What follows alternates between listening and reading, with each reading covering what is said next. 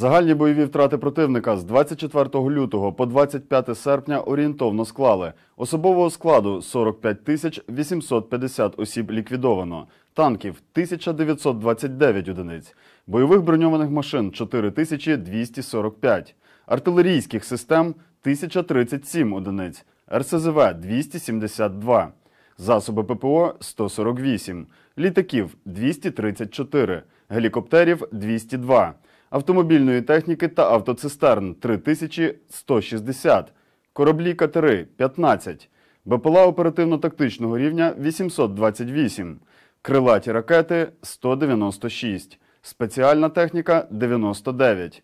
Найбільших втрат противник зазнав на Донецькому напрямку. Разом переможемо.